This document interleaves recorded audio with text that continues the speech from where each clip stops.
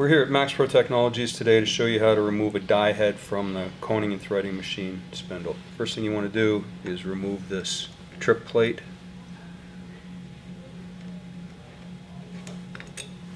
There's two flathead screws you remove.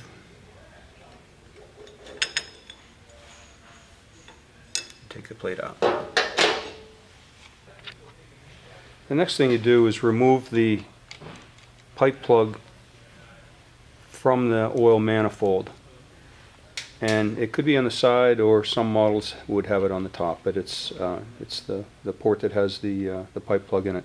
And that's so you can access the set screw that's inside that holds the die head into place. So you go in and you can turn this by hand to find the location of the screw. Once you find that, you just loosen the screw that holds the die head into place. You can't take it all the way out. It'll it'll bottom out on the back side of the oil manifold. But you just back that off and then you're able to pull the die head out of the spindle shaft. Now the reason you would need to do this is if you ever need to do any kind of maintenance on the on the die head itself. Okay, when you're ready to reinstall the, the die head, on some models there's a large countersunk hole here that the set screw goes into. It's a half dog point on the set screw. And then the other side is the oil hole where the oil flows into the die head. You want to make sure when you install it that you have the large countersunk hole on the side where the screw is going to go in. If you turn it the other way, you'll block off this hole. On some models, there's a large hole on both sides and it doesn't matter which one you go into. So what you want to do is get this lined up with that hole on the side.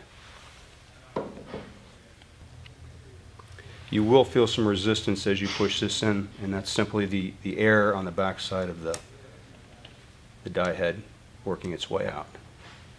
So you want to push it until it goes all the way in and there is actually an O-ring in here that you're going to compress also. So once it's in place, turn the set screw back in. You may have to turn the die head a little bit to make sure, and you can usually feel when the uh, set screw, the point of the set screw is going into the hole. And then tighten it up. Once you do that, you'll reinstall the trip plate.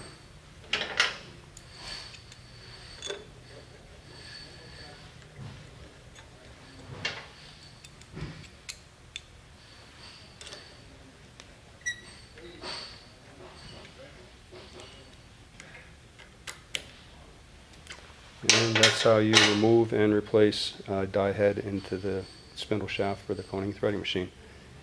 If you'd like to get any more information, you can uh, visit us at the website listed below.